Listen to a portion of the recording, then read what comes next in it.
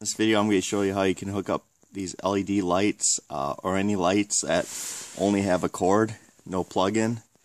Um, so how do you get this cord and stuff connected to your outlet box um, so that you can have it looking kind of like that up there. So uh, that's connected to outlet box so you can access it from the outside. So uh, the solution is to get a one hole lamp holder cover. They're about two bucks. And then you get uh, this corded um, strain relief corded cable connector.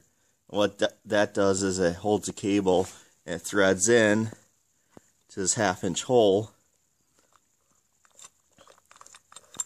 and then it's weatherproof, suitable for wet locations, has a gasket, and that will just go onto any of the um, outlet covers that you have. Take off the outlet cover and put it on.